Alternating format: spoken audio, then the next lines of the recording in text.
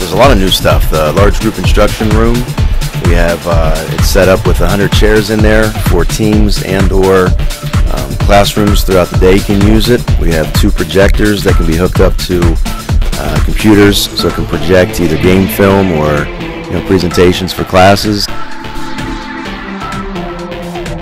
The weight room is about double in its size from what we had before.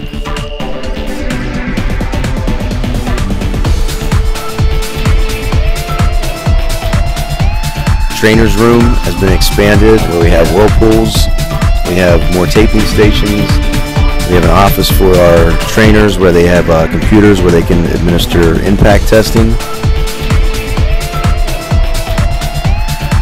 Generally, our, our sports teams will use it. You know, every student athlete benefits from the, the new trainers, new trainers room. You know, so basically all of our students, specifically our sports teams.